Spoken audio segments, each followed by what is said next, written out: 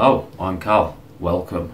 This one we're going to take a look at the Cooler Master MasterBox Q300L, which is a mini tower case uh, for a PC build. This is going to be part of the retro gaming computer they're going to be building. So there's going to be a series of these videos, and it's to house this CPU that I cleaned up in one of the previous videos. The dirty, dirty AMD. So this one is slightly damaged in transit. Hopefully it's okay inside. If not, it's going straight back. So we're just going to take it out of the box.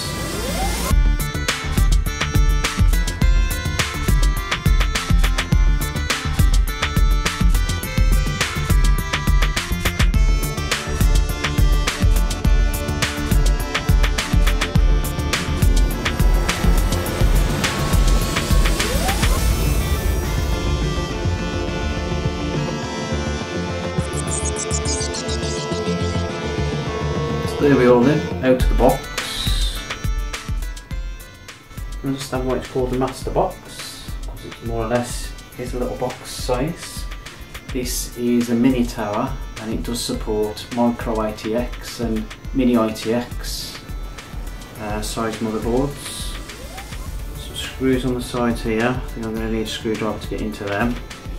Um, but yeah, it's got a dust filter on the front one on the top, really easy to, to move, it's all magnetic.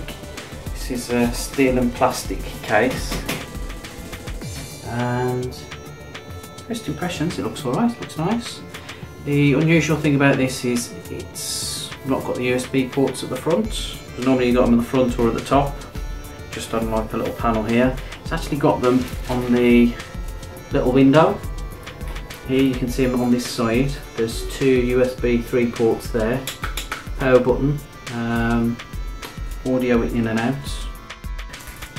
And a little reset button there as well. And then we've got the usual setup where we've got two removable panels. So we've got a little window panel here, which is nice to show off your uh, components. And I still the back panel here, so I'm going to need a screwdriver to get into those, so we'll do that in a second. But on the bottom, there's another dust filter, and little, little pegs for your feet. I believe this is all removable, so you can actually have it in two positions. You can either have it in the standing position, or maybe that sort of position if you're venting up, and then you've got access to all your ports show a little diagram on there on screen now just to explain that. And also this is movable as well so you can have that in I think three different positions. I'll put a little diagram on screen for that as well. But yeah looks nice. Nice and modern easy to maintain with the filters. So I'm just going to get a screwdriver and we'll have a look inside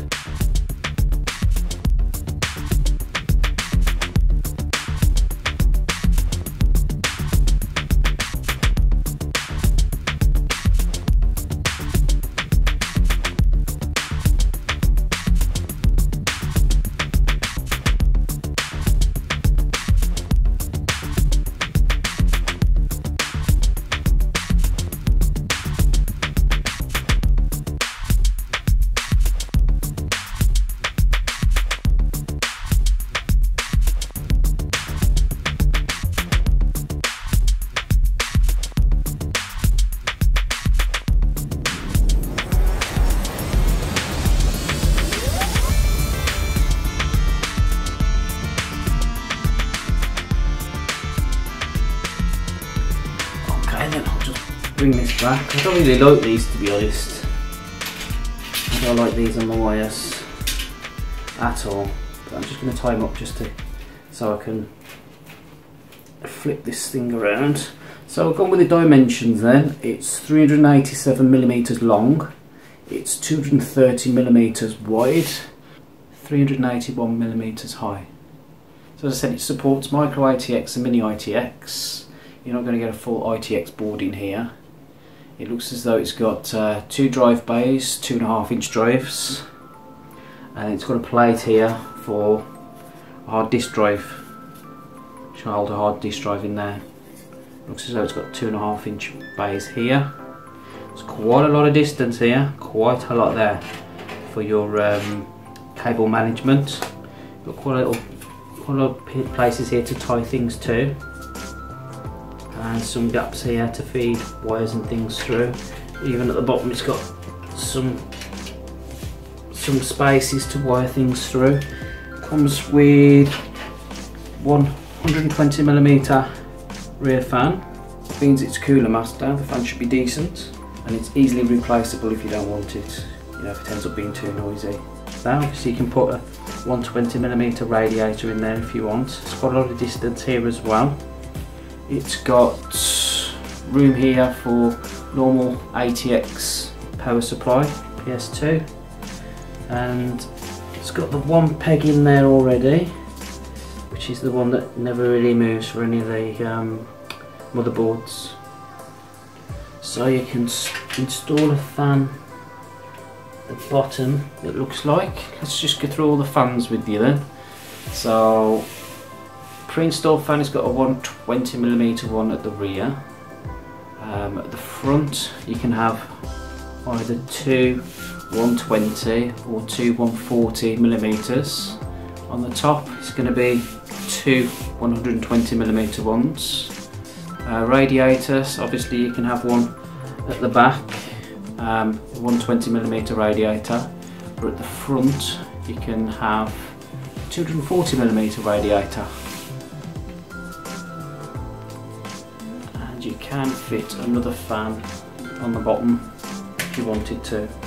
And it's going to be 120 millimeter. Put a little diagram on screen for that, and it's all painted inside. No sharp edges or anything. Except this one peg that sticks out. Oh, there's another one here. That one's in there as well. Obviously, all your uh, bits and bobs that you need, the usual included cable ties and screws and things are all in here. So normally a box that uh, comes with these, uh, but there isn't one with this one. It's just all in a bag, which is great. Less on the planet, I know it's plastic. But yeah, legs uh, pretty decent height uh, for airflow from, from the bottom. And yeah, it looks like a decent case. Just unsure about these ones being on the side. Never had that before. It's normally at the front or at the top on a little panel. But yeah, it can be different. It's only going to be a retro gaming machine, so that's the plan for it. Back ones here, let's have a quick look at them.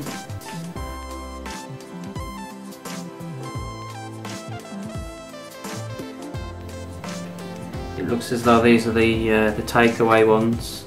Take away, and there's no putting them back some of the cases they've got like screws that hold these in so you can swap and change depending on what motherboard you put in there. It looks as though once you take these out that's going to be it. You won't be able to put them back in I don't believe. We'll test that during the build. But that's my first impression. Yeah. All together. With the dust covers Really nice and simple. I'll have it that way. Should we have it that way? Really easy to remove and looks nice. Nice and modern, nice and small. Yeah, quite happy with the purchase for that. I got this for under £50. Oh, you caught me. Just noticed when I was putting this back on, this panel, um, 120mm fan at the back is actually height adjustable. So if you've got components that's going to be in the way like extra fans or things or a thermal uh, header on the motherboard uh, you can actually move this up and down. So bonus you don't normally see that on a case. Right back to me from earlier. Don't forget to like and subscribe. This is just part of a retro gaming rig that I'm building. More to come. My name is Cal. Have a good morning afternoon or good evening farewell till next time and I will see you later